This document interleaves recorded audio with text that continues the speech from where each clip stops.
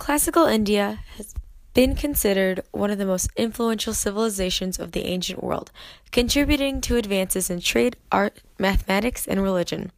Often overlooked by its neighbors like China and the Mongols, classical India was a very influential component to the Silk Road, offering materialistic goods such as pearls, coral, and ivory, but ultimately creating cross cultural connections for the whole ancient world to benefit from. Now, let's head over to MJ and take a look at the inner workings of the civilization to get a better, a better understanding of just how important it was. Hi, I'm Mary Jane Scully, and today I'm going to be talking about the geography of classical India. Classical India is located in the northwestern region of the, sub- of the subcontinent. The two main rivers, the Ganges and Indus, are rivers are beneficial to the people because the land is good for farming. The Himalaya Mountains also are located in northern in the northern part of India. The climate of India is mostly dry and really sunny except for the monsoon seasons. The monsoon season makes it extremely difficult for India to trade because of the extreme rain conditions. But during the monsoon season, heavy rain comes to India and all the crops and plants are able to grow and flourish. Now let's talk about politics. Classical India has many kingdoms that have developed throughout the land. India has local governments that local rulers lead. During the Mauryan dynasty, they were able to maintain power through the military. The Guptas chose their leaders by negotiation, and their rulers were appointed by the gods. People start to think that the political system doesn't matter anymore just because of the caste system. Although the caste system also does provide public order to India. One important ruler of classical India has been Ashoka Maurya. He developed a capital and wrote, wrote out laws for the civilization. India has a thriving economy filled with agriculture, manufacturing, and trade. Over the past thousand years, Indian herders have shifted to agriculture. This shift allowed for the growth of towns and cities, but there was a surplus of food to support them. Now we see thriving cities trading along the Ganges River, the East Ganges Delta, and the East Indian coast. These cities primarily fa- manufacture goods to be used locally, but some businesses trade their products overseas. We've just seen a huge surge in trade with Asia, and the road building project in Persia will hopefully foster more. One religion has been developing extremely quickly, and that is Buddhism. During this age of immense religious creativity and exploration, Buddhism has been founded by Gautama Siddhartha, the Buddha. He came to believe that extreme self discipline was not a good basis for a spiritual life. However, Buddhists believe that the release from desires is a way to salvation. In daily life, Buddhists emphasize the importance of ethical behavior and learning to take the middle path.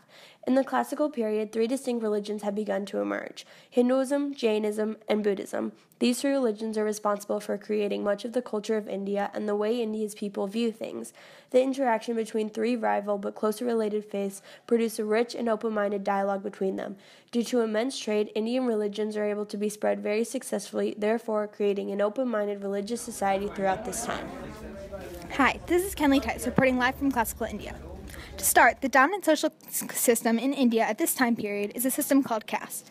It is a system illustrated by this hierarchy that includes the Brahmins, Kshatriyas, Vaishyas, Sudras, and the Untouchables. With this system, the people of India are able to live in harmony because they're separated by their caste, but they live in nearby communities. In these communities, people knew what their jobs were, and they did them because it was their dharma.